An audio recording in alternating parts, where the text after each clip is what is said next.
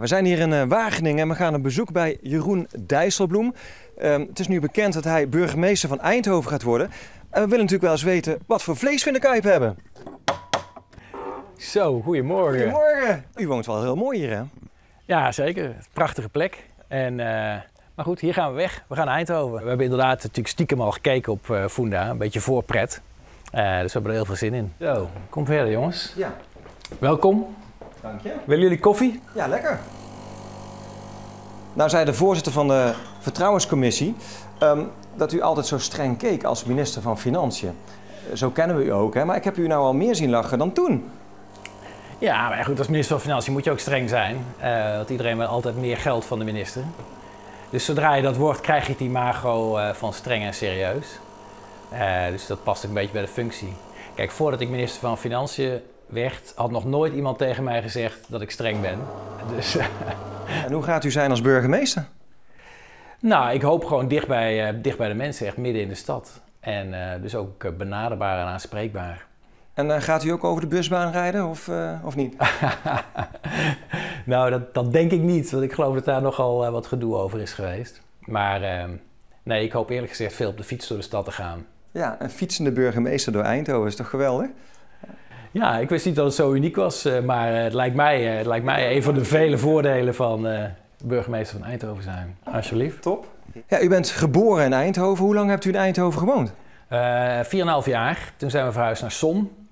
Dat was in de tijd dat er natuurlijk veel uh, buitenwijken buiten Eindhoven werden gebouwd. Mijn vader heeft altijd gewerkt in, uh, in Eindhoven. Dus ik heb de lagere school, uh, de kleuterschool in Eindhoven, de lagere school in Son en de middelbare school weer in Eindhoven. Dus mijn jeugd heeft er wel voor een groot deel in Eindhoven afgespeeld. Op mijn negentiende ben ik gaan studeren in Wageningen. Daar wonen we nog steeds. Daar zijn we blijven plakken. Daar heb ik ook mijn vrouw ontmoet. Uh, en nu gaan we terug naar Eindhoven. Ja, Eindhoven nooit vergeten al die jaren, neem ik aan.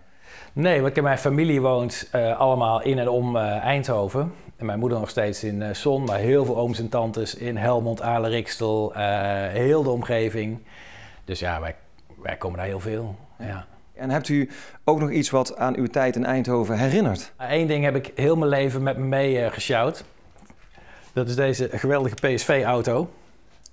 Die, heb ik, uh, die heeft op mijn bureau gestaan uh, op het ministerie van Financiën, bij de OVV. Ik heb hem altijd in de buurt gehad. Dus als u moeilijke gesprekken voerde met collega-ministers bijvoorbeeld, dan konden ze deze auto aanschouwen? Ja, ja, ja, dan kon het autootje zo wat over tafel heen en weer worden gereden.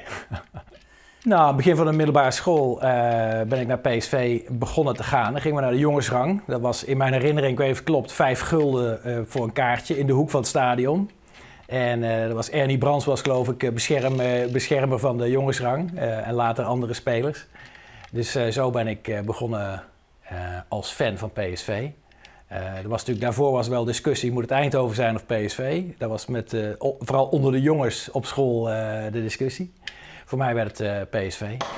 En er staat iemand voor de deur. Ja. En ik zal even kijken wie het is. Ja, alsjeblieft. Dankjewel. Hè. Janne. Want dit is van John en Georgette Jorritsma. Dat is toch hartstikke mooi. Ja, de voorkeur werd uitgesproken voor een vrouw. Het is een man geworden. Ja. Uh, dacht u wel kans te maken toen u ging solliciteren? Nou, mijn moeder, uh, die 89 is, die zei: Het wordt een vrouw. Dus vergeet het maar. Die was daar somber over. Ik zei: Nou, ik ga het toch proberen, omdat ik het gewoon heel graag wilde. Ja, en uiteindelijk is het natuurlijk gewoon aan de gemeenteraad om dan dat af te wegen. Ik snap heel goed dat Eindhoven zegt, het wordt ook een keer tijd voor een vrouw. Ja, dat blijft nu nog steeds waar dus. Hoe is het eigenlijk met uw uh, Eindhovens gesteld? Uh? Hoe is het eigenlijk met jouw Eindhovens? Hoe gaat het eigenlijk? Hoe gaat het eigenlijk? ja. ja, soms komt het er nog uit. Dus uh, ik vermoed, mijn, mijn vrouw die uit het noorden komt, die, die denkt ook dat het heel snel weer terug gaat komen. Als we eenmaal in Eindhoven wonen. ons vader en ons moeder? En, nou, dat is altijd gebleven. Hè? Ons moeder is ons moeder. Ons vader is al een paar jaar eh, overleden, maar uh, ons moeder blijft ons moeder. En, uh, en ik krijg nu heel veel van vrienden weer cursussen Brabants toegestuurd via de app. Houdoe, tot in Eindhoven.